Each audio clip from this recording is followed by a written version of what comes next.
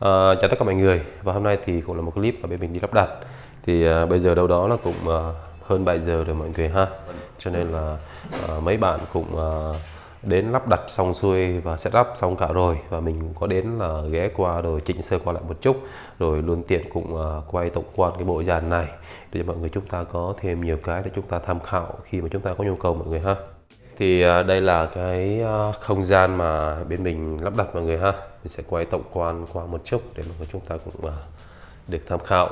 Nói chung là không căn này thì cũng vừa mới xây xong cho nên là vấn đề cái nội thất bàn ghế này kia chưa có gì cả. Đấy, đằng trống trơn như vậy cho nên là cái âm thanh nó hơi bị vang một chút.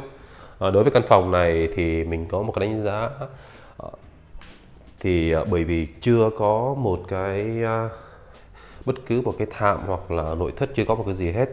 Mà khi mình vào đây thì mình có một cảm giác à, nó bị vang nhẹ thôi mọi người ha, không vang quá như những căn phòng thông thường khác. Bởi vì là mình có tia thấy, đấy, phần phía trước đây thì có những cái tụ gỗ như thế này, rồi có những cái vách ngăn như này thì nó sẽ giúp là tiêu tán âm khá là tốt ở cái phần mặt trước. Đây, mọi người chúng ta thấy. Đấy.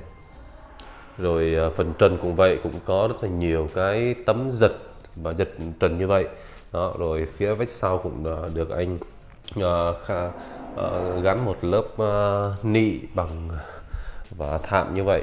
Đây cho nên là uh, mình có một cái cảm nhận là nó không bị quá vang. Đúng là theo như những cái căn phòng mà như thế này á thì nó sẽ vang rất là nhiều mọi người. Nhưng mà vì căn phòng này thì uh, được phần nội thất mặt trước đây được thiết kế là bằng các cái vách gỗ nó có những nếp ngăn như vậy thì nó cho nên nó thành ra nó tiêu tán âm cũng khá là tương đối cho nên nó cũng giảm thiểu được phần nào mọi người ha. À, thì bây giờ thì mình sẽ à, tổng quan qua cái bộ dàn này một chút để mọi người chúng ta cũng uh, được nắm rõ hơn. À, mọi người nhìn vào đây thì chắc mọi người chúng ta đã thấy rồi ha. Thì uh, bộ này thì mình phối ghép cho khách hàng đó là một cặp IC38 màu trắng này mọi người. Bỏ vào cũng khá là hợp. À, hiện tại thì tạm như vậy thôi. Đấy, sau rồi anh để anh nghiên cứu để cho để gia chủ nghiên cứu xem là có nên là treo lên đây hay không hay là đặt như vậy. Mà mình đoán có lẽ anh sẽ treo lên vì mình thấy treo lên đẹp hơn là đặt như vậy. Đó và cái góc khu âm thanh nó sẽ tốt hơn một xíu đặt như vậy thì nó hơi quá thấp mọi người ha.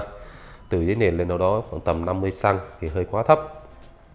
À, và sub thì mình cũng sẽ phối ghép là sub ờ, uh, MF3 main thì uh, mình sẽ phối ghép một uh, chiếc main của Crown. XLI 1500 và vang số thì mình phối ghép vang số KX180A Micro thì mình phối ghép Micro JBL VM300 kèm theo đó thì mình có phối ghép cho anh thêm một chiếc mixer Yamaha để ờ, anh đôi lúc có nhạc cụ này kia thì anh có thể găm vào đây anh chơi uh, tiện lợi hơn. Còn vang số thì chúng ta không thể găm nhạc cụ vào được mọi người ha hôm nay thì mình không có test, thì ờ, mình cũng ờ, quay tổng quan qua về không gian căn phòng và cũng như là cái combo mà mình phối ghép cho khách hàng.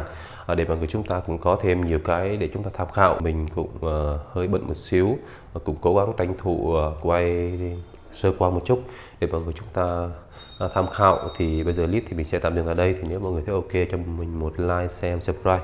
Bye mọi người ha.